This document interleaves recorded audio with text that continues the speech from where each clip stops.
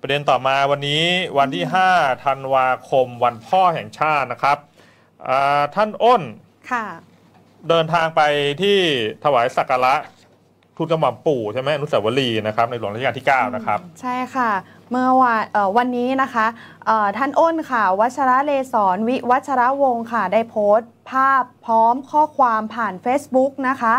ระบุว่าไปกราบทูลกระหม่อมปู่ ถวายราชสักการะในหลวงรัชกาลที่ 9 นะคะ เนื่องในวันคล้ายวันพระราชสมภพ 5 ธันวาคมสำหรับการกลับมาที่ประเทศไทยของท่านอ้นในครั้งนี้นะคะ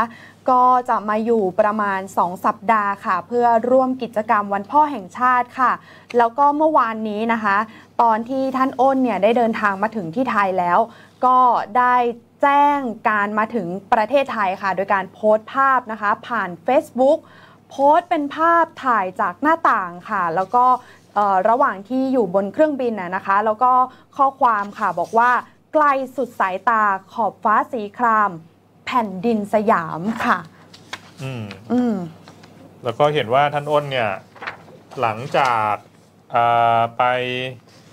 สักการะพระบรมราชานุสาวรีย์รัชกาลที่ 9 เนี่ยอ่าท่านอ้นเดินทางต่อไปที่วัดปทุมวนารามใช่ไหมครับ ใช่ค่ะ แล้วก็ไปเป็นเจ้าภาพถวายพัตตาหารเพนพระสงฆ์เก้ารูป ที่อาคารเสนาสนสงฆ์วัดปทุมวนารามนะคะ ราช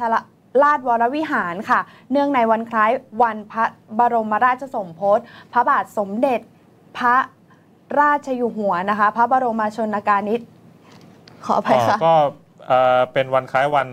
พระราชสมภพนะครับในหลวงรัชกาลที่อ่า9ใช่นะค่ะ แล้วก็จากนั้นนะคะได้เข้าไปกราบสักการะพระอาจและพระราชสรีรางคารค่ะ ของพระบรมวงศานุวงศ์ค่ะ แล้วก็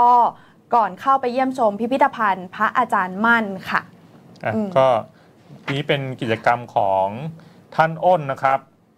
น่าจะต้องปฏิบัติภารกิจตลอด2สัปดาห์เนี่ยเราก็เราก็จะได้เห็นภาพก็เป็นภาพแห่งความประทับใจนะใช่ค่ะท่านอ้นเอ่อมาเดินทางเยือนไทยครั้งล่าสุดเมื่อวันที่ 7 สิงหาคมเป็นเวลา 7 วันนะครับค่ะวันที่ 13 สิงหาคมท่านอ่องก็มาเดินทางมาสมทบ แล้วก็ทั้งคู่เดินทางกลับ